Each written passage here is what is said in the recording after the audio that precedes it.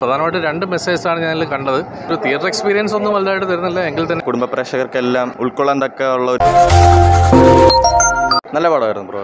വളരെ ഒരു നല്ലൊരു എക്സ്പീരിയൻസ് ആയിരുന്നു. ഒരു പക്ക ഒരു ഫാമിലി എന്റർടൈനർ ആയിരുന്നു.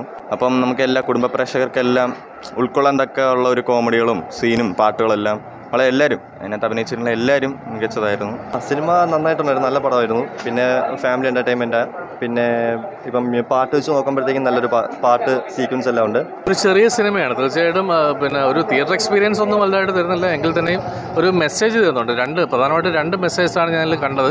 അതായത് ഒരു പേരന്റിങ് അത് കുട്ടിയെ നമ്മൾ വളർത്തുമ്പോൾ നമ്മൾ ശ്രദ്ധിക്കാനുള്ള കാര്യങ്ങൾ. അത് കുട്ടിയെ വളർത്തുമ്പോൾ ആ കുട്ടിയിൽ നമ്മൾ ചെറിയ ചില ആവശ്യമില്ലാത്ത കാര്യങ്ങൾ ഫീഡ് ചെയ്ത് കഴിഞ്ഞാൽ അയാളുടെ വ്യക്തിത്വത്തെ തന്നെ ബാധിച്ചേക്കാം എന്നുള്ളത്. അപ്പോൾ അതിൽ നിന്ന് പുറത്തു വരുന്നത് ഒരു വ്യക്തി അതിൽ നിന്ന് എങ്ങനെ പുറത്തു വരുന്നത് എന്നുള്ളതാണ് കാണിച്ചിരിക്കുന്നത്. അപ്പോൾ അത്തരം പ്രശ്നങ്ങൾ ചെറിയ ചെറിയ പേടികളൊക്കെ നമ്മുടെ വ്യക്തിത്വത്തെ ബാധിക്കുന്നു എന്നുള്ളത്. അപ്പോൾ ചെറിയൊരു സിനിമയാണ് കുടുംബ പ്രേക്ഷകർക്ക് ഇഷ്ടപ്പെടും. പിന്നെ ഈ പറഞ്ഞ പോലെ വലിയ ടിസ്റ്റുകളോ ആ, കാര്യങ്ങളോ ഒന്നുമില്ല കാര്യം എന്ന് വെച്ച് കഴിഞ്ഞാൽ ഒരു സിമ്പിൾ ത്രെഡിനെ ഒരു രണ്ട് മണിക്കൂർ ലെങ്തിലേക്ക് കൊണ്ടുവന്നിരിക്കുകയാണ്. അതായത് വൺ ടൈം വാച്ചബിൾ ഒരു മൂവി ആയിട്ടാണ്.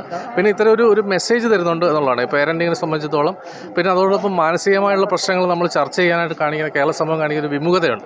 ആ ഒരു വിമുഖതയെ ചോദ്യം ചെയ്യുന്ന അല്ലെങ്കിൽ ആ വിമുഖത ഇല്ലാതാക്കേണ്ടതിന്റെ ഒരു പിന്നെ എന്താ പറയുന്നത് ആവശ്യകത കൂടി ഈ സിനിമ മുന്നോട്ട് വയ്ക്കുന്നുണ്ട്. അത്തരത്തിലൊരു ചർച്ച വേണം. കാര്യം ശാരീരിക ആരോഗ്യത്തോടൊപ്പം തന്നെ പ്രധാനമാണ് മാനസിക ആരോഗ്യം എന്നുള്ള ഒരു സന്ദേശം മുന്നോട്ട് വയ്ക്കുന്ന ഒരു കൊച്ചു സിനിമ. അത്രയേ ഉള്ളൂ ഈ സിനിമയെ പറ്റി പറയാം